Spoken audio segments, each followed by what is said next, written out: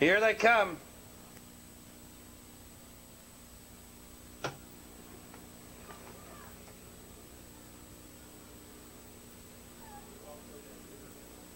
They're up and pacing. Whoopee Cloud left along the inside from the outside. Pales Dancer in Charge Plate showing speed. In Charge Plate moving fastest of all to take the lead. Pales Dancer holding the inside second. Three lengths back to Whoopee Cloud third. On the inside, Mellow Almahurst fourth. Dare to be great now parked in fourth. Mellow Almahurst fifth.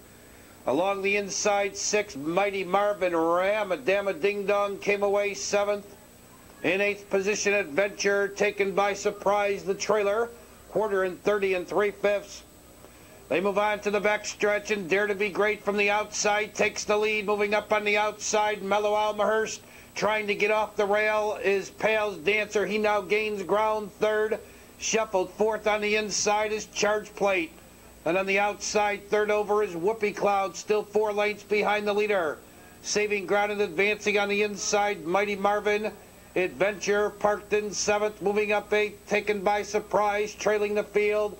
Ramadama Ding Dong.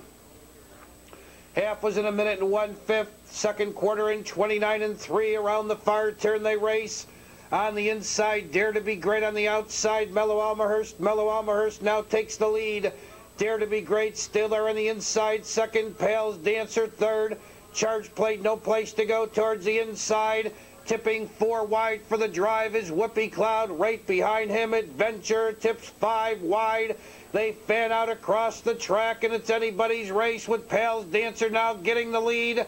Closing ground second is Whoopee Cloud Adventure trying to get to the outside. He shakes loose, and here he comes. Pales Dancer leads. Whoopee Cloud and Adventure closing. Charge plate now shakes loose with Mighty Marvin towards the inside. There's five in a drive to the wire. Whoopee Cloud on the outside with Charge Plate on the inside. Whoopee Cloud and Charge Plate. Charge Plate might have grabbed it at the wire. Can't split them. Charge Plate or Whoopee Cloud. Pale.